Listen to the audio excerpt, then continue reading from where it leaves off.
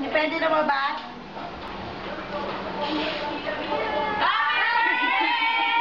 Yeah, boy.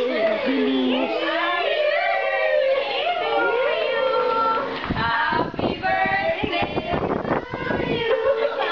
Happy birthday to you. Lapitan mo kaya si Margie, hindi makita yung kasalubong. Tingnan mo, kala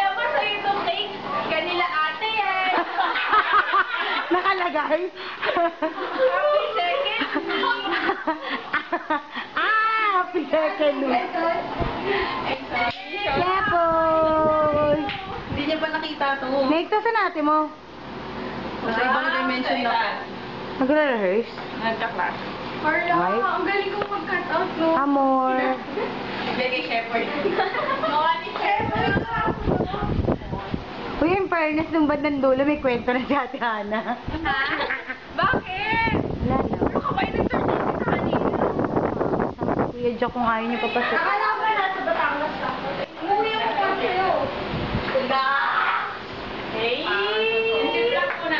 ganun ka na. Si Ate Tin. Ay, sa taas. Hindi pa pala alam ni George na magkapatid kayo. Sino hindi na magkapatid? Ano ba, magkapatid kami?